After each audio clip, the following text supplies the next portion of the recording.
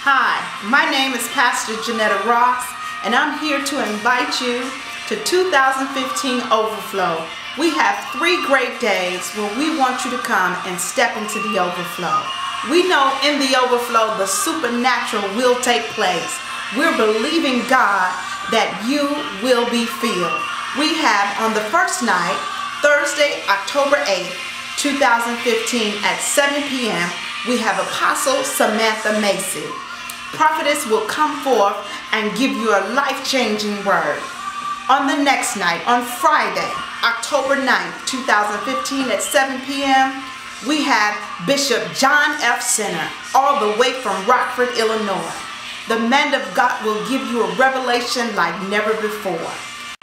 Climaxing on Sunday, October 11, 2015 at 4 p.m. is yours truly, Pastor Jenetta Ross.